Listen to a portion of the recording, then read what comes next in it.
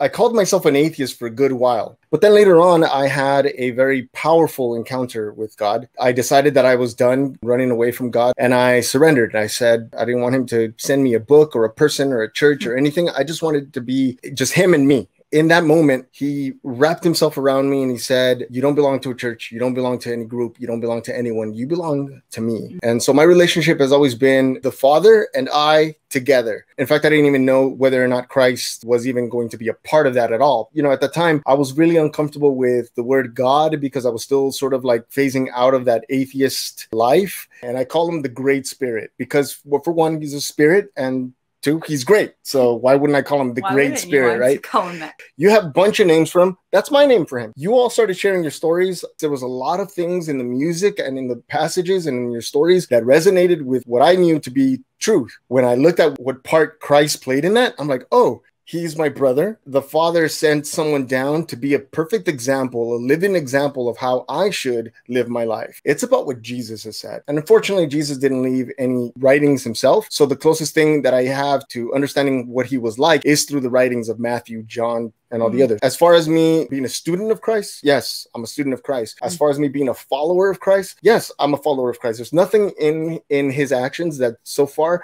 makes me not want to follow. Set that aside for a little bit and let's look at a thing called Christianity, which is supposed to be people following what Christ has done. Now, do I imagine Christ standing in a corner with a sign that says God hates homosexuals? No, I don't see Christ doing that. So I'm not going to follow what a church does. I'm not going to follow what a pastor does. Let's go outside of that box even more. I read this passage the other day that said, Do you teach people not to lie, but are a liar yourself? Do you teach people that it's wrong to be an adulterer, but yet you are being an adulterer? If you're teaching those things and being those things, you are the reason why the world blasphemes the name of God. If you are claiming to be a follower of Christ, but are doing things that are unchrist like, you are the reason why the world Mm. talks bad about God. So if anybody's really angry towards God, is because they're looking at you and they're not seeing a perfect example of what Christ has taught. Calling yourself a Christian is a big deal. You can't take that lightly. Let's just say it this way. My grandfather